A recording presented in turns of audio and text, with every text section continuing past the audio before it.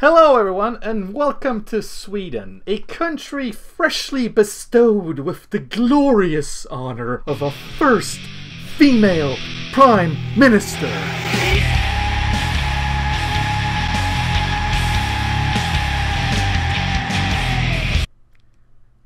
Could have fooled me. No, no, no, no. For, for real this time. It's for real now. Uh, see, for a while there the other week, Sweden became an international meme. Again. This time for having their first female prime minister resign eight hours after she gained her post. Now, I'm not sure if everyone followed what happened here and why, but long story short, she resigned since the Green Party left government. And this fringe extremist party is what the larger Social Democrats relied on to stay in power. This gave them the few percentages extra they needed to be able to go, aha, we got more votes than you guys. But now that wasn't so sure anymore, so a small existential crisis unfolded, and a little bureaucracy later, and there's a new vote, allowing her to become prime minister again with the full support of, among other things, the Green Party. So, what was the point of all this then, might you wonder? Nothing! Absolutely nothing!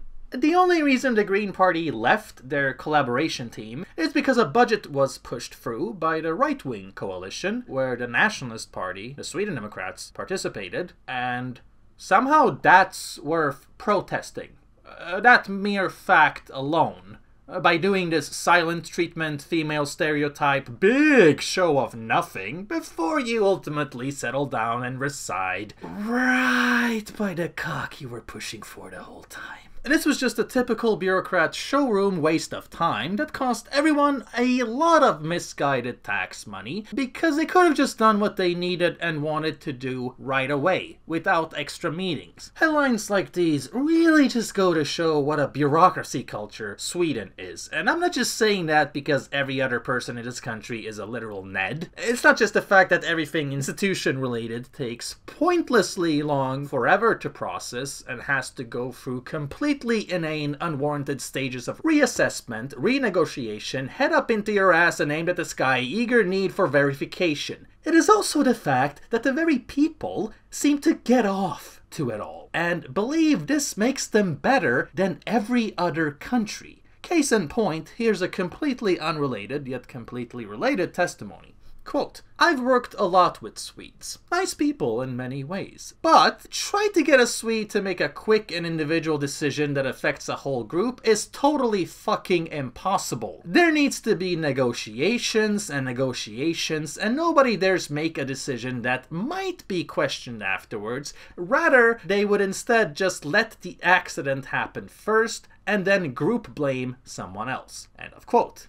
Um, yeah, I can't believe how well this guy summarized the Swedish mentality, and especially in Parliament, but also just culture, as you can see on the screen here. This is what having a feminine culture entails, according to Geert Hofstede. Basically, Swedishness is when you think that your pedantry in all social avenues qualifies as a superior master race system. Swedes act like their democracy is so superior and corruption free to every other country, while they describe America as a third world shithole that's super corrupt because Donald Trump was in office. Thanks to Russia. But let's not act like America is the only place that's insane sometimes. Check out the reason why Sweden now has its first female prime minister. The Social Democrats approached a Kurdistan-born politician from the left party, who is also considered an independent in parliament, and promised her they would work harder to build connections with the Kurdish Communist Party, who are close to the PKK, a militia that's been described as terrorist by the US, Canada, and European Union. And that is why Sweden has a new female prime minister. Because they have to make deals which are completely irrelevant to Sweden, and in fact take place on issues outside of Sweden. Isn't this a strange way to decide the fate of a country? To base Swedish future prime ministers on what political stances you take in Turkey and Iran? This deal is basically what bought the Social Democrats the decisive vote to have this pensioner hating liar as Sweden's first female prime minister. This, along with the fact that a center right politician went against her party, folded last second, and voted to abstain, which is the same as voting yes in practice. So, 173 parliament members voted no, 75 abstained, which equals passive support, and 101 members said yes. So this is just a very roundabout way of saying that a majority supported this decision, which barely passed with a very thin margin. Supported is an interesting word in the context because voting to abstain is basically like saying no thanks at a party when someone offers you a drink and then chugging a bottle of vodka. Voting to abstain is like a nun with an OnlyFans account. And then a racist storm hit Sweden as the media whipped up this moral frenzy because Nationalist Party leader Jimmie Åkesson referred to the only Kurd in parliament as a Kurd when he said, quote, it's truly strange that it's up to a Kurdish communist to decide this issue. This isn't the way it's supposed to go down.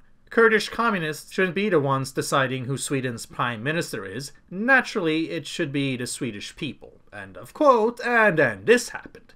Can you can you tell what Swede priorities are yet? Everyone lost their minds because he used the objectively correct phrase she always uses about herself, namely a Kurdish communist.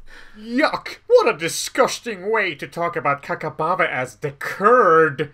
And when people pointed out it's absurd that this media editor thinks it's gross to call a Kurd a Kurd, and that it sounds like she thinks it's worse to be Kurdish than communist, she bimbo clarifies, not that there's anything wrong with being Kurdish, of course, but it sounds like her ethnicity makes her voice less worth. No, bitch, nobody said that. No matter how you twist it and turn it, Åkesson's statement about her is incredibly severe. The way Åkesson talks about the Kurd Kakabaveh makes me remember when the nationalist guys in high school called me the Turk Amanda. Now those guys have a political party and their view of people is getting influence over our politics. I will never get used to this. Once again, happily fucking ignore the word communist here and act like this isn't why people hate the media. Åkesson yapping about the Kurd Kakabaveh clearly demonstrates that according to SD, you're only Swedish if you're an immigrant agreeing with them, and you become an immigrant first when you disagree with them. I see someone has studied logic. Oh, the classic. When we don't appease nationalists, all of a sudden we're the Kurd. Åkesson should read her book. Young Kurds are forced to war for a reason, like when they fight the terror sect ISIS. Okay, well, good job there, but boy, you did an even better job taking things out of context. So Jimmie Åkesson is calling Kakabaveh a Kurdish communist? You fucking slime bag! That's all she does, though. Every time she opens her mouth in Parliament, she calls herself that. It's how she describes herself, and one of her political missions to fight for her people. I mean, what Swedes have done here is basically turn mere ethnicity into the N word. That's what they're acting like here. It's not even, what do you mean, you people?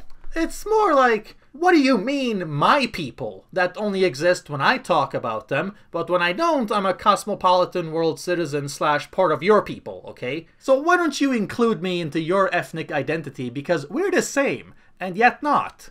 And then the Kurd herself called the Sweden Democrats racist, yada yada yada, business as usual, business as usual.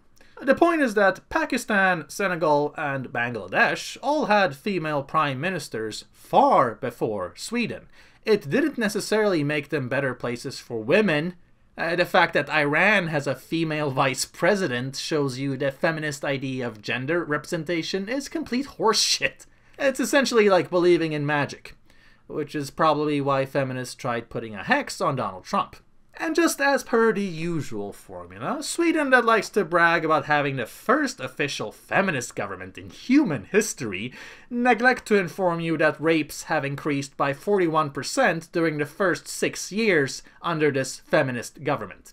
Don't even get me started on all the other crime statistics. You can make a whole video on that. Wait, oops, I've already done numerous times. Uh, this is cause and effect in a nutshell right here. This is why anyone who cares about equality hesitates to call themselves a feminist. So sadly, I don't think more political vapidness is gonna fix any of our problems. All I know is Sweden has its first female prime minister.